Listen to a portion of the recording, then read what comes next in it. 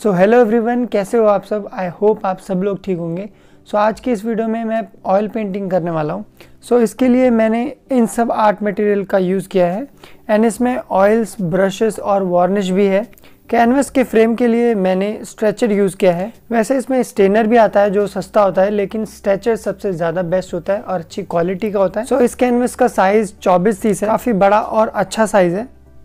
सो so, इस video में मैं एक कपल का पोर्ट्रेट बना रहा हूँ जिसे मैंने टर्पनटाइन और कलर से मिला के एक लेयर चढ़ा दी है। टर्पनटाइन मिलाने से कलर बहुत ज़्यादा पतला हो जाता है और वो बहुत जल्दी सूख जाता है। इसलिए फ़र्स्ट लेयर को अगर आप करना चाहते हो तो टर्पनटाइन से करें और एक लेआउट बना लें। एंड उसके बाद उसे सूखने का वेट करें उसके बाद कलर चढ़ाएँ। आप अपने कलर को पैलेट में बनाकर उसे एक के बाद एक लगाते चलें। जहाँ जहाँ पे जो जो कलर है, वहाँ पर वही कलर पुट करें। जैसा मैं कर रहा हूँ डार्क टू लाइट जाने की कोशिश करें और इस वीडियो को देखते रहें, आपको समझ आ जाएगा। और इस बात का ध्यान रखें कि ऑयल कलर सूखने में बहुत ज़्यादा टाइम लगता है।